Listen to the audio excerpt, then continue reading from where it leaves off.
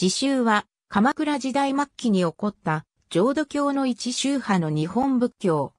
開祖は一辺。鎌倉仏教の一つ。総本山は神奈川県藤沢市の成城三寺。自習の開祖、一辺像。藤沢市成城三寺。多宗派同様に、宋の字を用いるようになったのは、江戸時代以後のことである。開祖とされる一辺には、新たな宗派を立想しようという意図はなく、その教団、聖院も自宗と呼ばれた。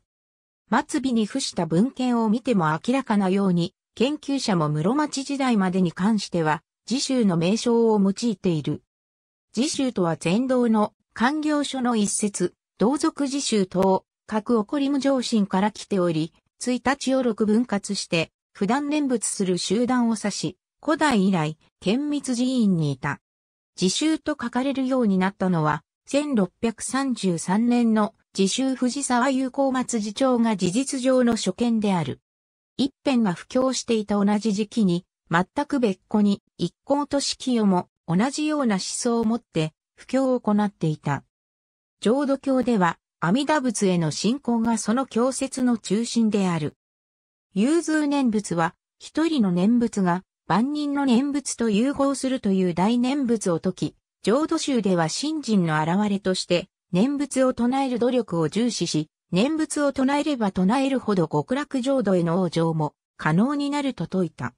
自宗では、阿弥陀仏への信、不信は問わず、念仏さえ唱えれば往生できると説いた。仏つの本願力は絶対であるがゆえに、それが信じない者にまで及ぶという解釈である。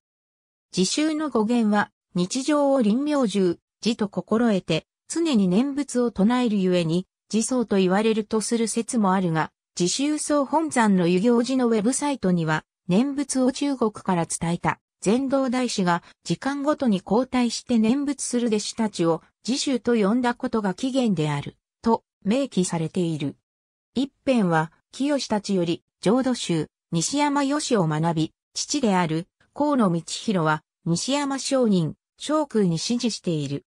日本浄土教各宗派の中での位置づけは、法然の皇帝である昇空や、清たちを体制者とする西山派を、浄土宗のことするならば、昇空、清たちの門弟であった一辺の自宗は、浄土宗の孫という立場になる。一辺亡き後、彼が率いた自宗は、自然消滅した。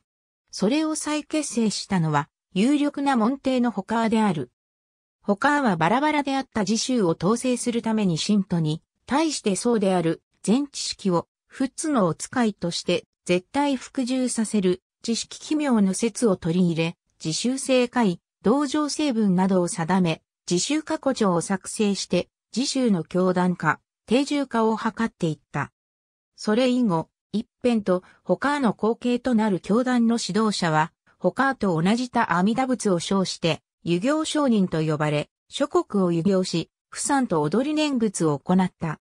藤沢市成城三寺本堂三代目、遊行上人知徳が没すると、信仰の東馬道場無料三寺と鈍会の藤沢道場成城公院に、教団は分裂し、やがて藤沢道場が優勢となった。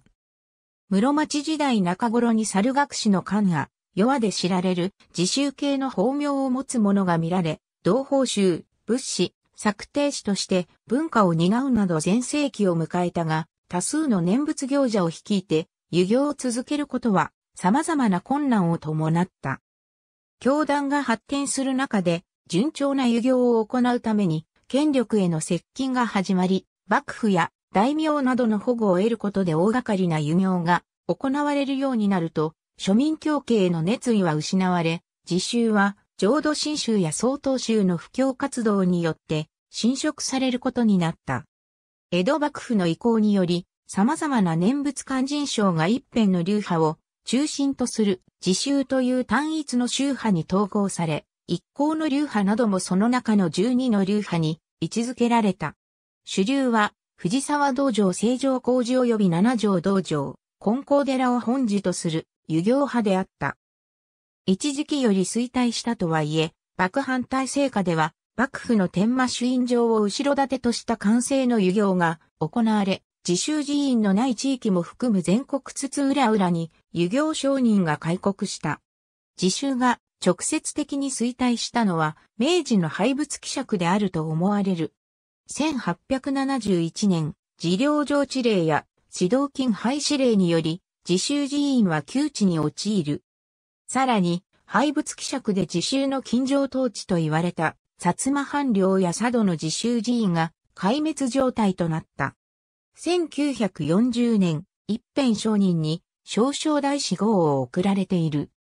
これに対し、太平洋戦争中は自習法国会を組織し、満州の法典に遊行寺別院を設けるなど政府に協力した。1943年、一行はが離脱し浄土宗に帰属した。戒名は、法名と呼び、男は、阿弥陀仏号、女は、和房号ないし、仏坊号不した。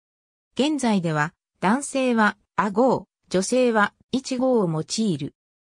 一行派では性別問わず、阿号、東馬派は、男は、阿弥号、女は、一号号である。お式に三文字州内では、隅切さんと呼ぶ。